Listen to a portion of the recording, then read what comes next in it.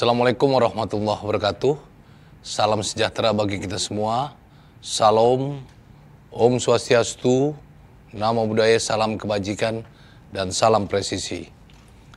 Kepada seluruh masyarakat Indonesia, pada hari ini Kamis 21 September 2023, saya selaku Karopenmas Diphumas Polri akan menyampaikan beberapa informasi. Yang pertama, gangguan Kamtipmas tanggal 20 September 2023. Secara umum, tren gangguan Kamtipmas mengalami penurunan sebanyak 110 kasus atau 5,13 persen, yaitu pada hari Selasa 19 September 2023 sebanyak 2.143 kejadian dan pada hari Rabu 20 September 2023 sebanyak 2.033 kejadian. Apabila dilihat dari data tren jenis kejahatan yang menjadi catatan kepolisian, ada lima kasus kejahatan yang jumlah kejadiannya tertinggi.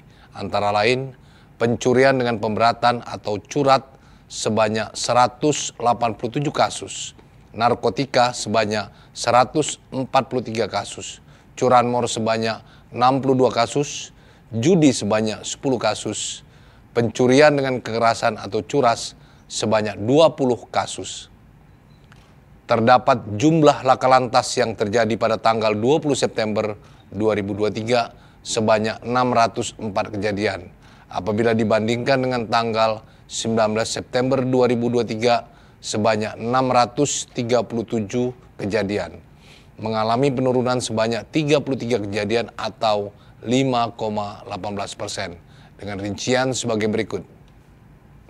Jumlah kecelakaan 604 kejadian. Korban meninggal dunia 47 orang, korban luka berat 54 orang, korban luka ringan 570 orang. Kerugian materi 936 juta 650 ribu rupiah.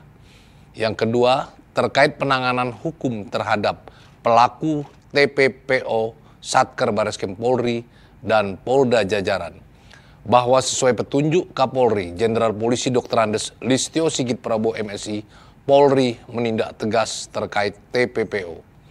Berdasarkan hasil aneh penanganan TPPO Satker Baris Polri dan Polda Jajaran periode 5 Juli sampai dengan 20 September 2023 adalah sebagai berikut. Laporan polisi sebanyak 844 laporan. Jumlah korban TPPO yang diselamatkan sebanyak 2.698 orang. Jumlah tersangka pada kasus TPPO sebanyak 1.013 orang.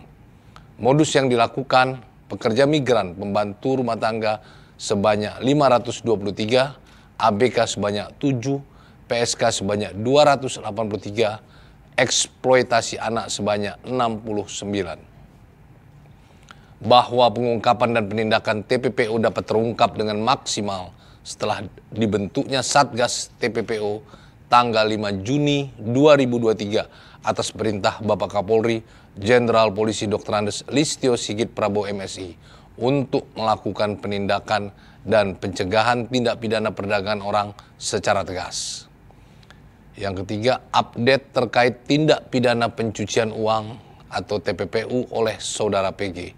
Penyidik Ditipit Eksus Bariskim Polri telah melakukan pemeriksaan sebanyak 38 orang saksi termasuk dari pihak yayasan dan pihak lain yang terkait saudara PG.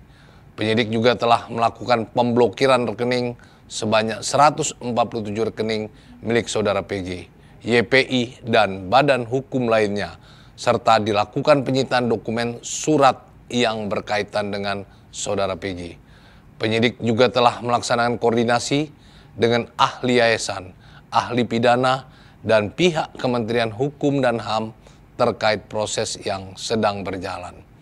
Adapun rencana tindak lanjut yaitu akan dilakukan pemeriksaan terhadap ahli, melanjutkan pemeriksaan terhadap pihak yayasan dan pihak terkait lainnya, akan melaksanakan koordinasi dengan pihak instansi kementerian terkait legalitas yayasan. Yang keempat, update terkait kasus penistaan agama oleh saudara PG.